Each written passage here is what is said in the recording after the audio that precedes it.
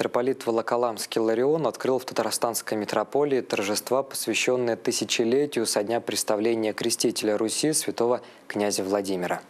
Архипастырь принял участие в торжественном открытии духовно-просветительского центра «Апостол». Чем удивила митрополита Илариона местная православная молодежь, расскажут наши коллеги.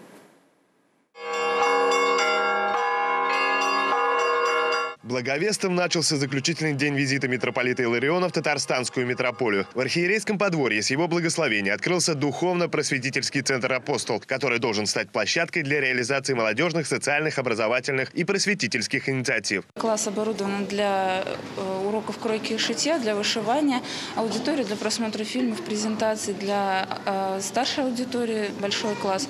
Э, также у нас есть музыкальный класс, а актовый зал замечательная библиотека. В актовом зале подвели итоги конкурса проектов верующей молодежи. Из рук иерарха Русской Православной Церкви победители конкурса получили сертификаты. Проект «Добробус» Нелли Фазлеевой уже действующие на автобусе с доброй миссией. Ребята едут в самые отдаленные уголки республики, приводят в порядок храмы, помогают нуждающимся, демонстрируют фильмы. Автобус э, закупил храм преподобного Серафима Саровского города Казани.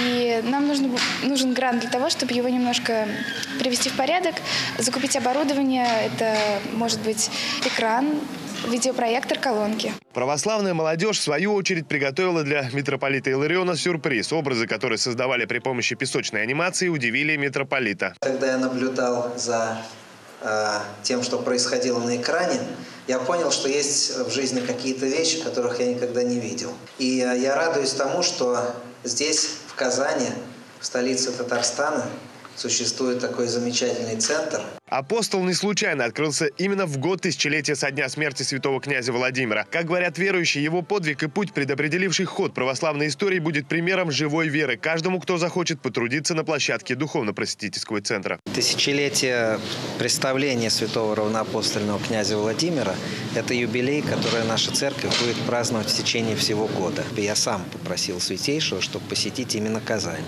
И э, я решил, что до тех пор, пока начнутся празднования везде, э, летом, осенью, э, лучше приехать сюда и э, начать эти торжества именно здесь. Еще одно мероприятие, приуроченное к тысячелетию представления святого князя Владимира, открытие фотовыставки «Вера в объективе». Эти 120 фоторабот – весомый вклад татарстанских фотохудожников в межконфессиональное согласие.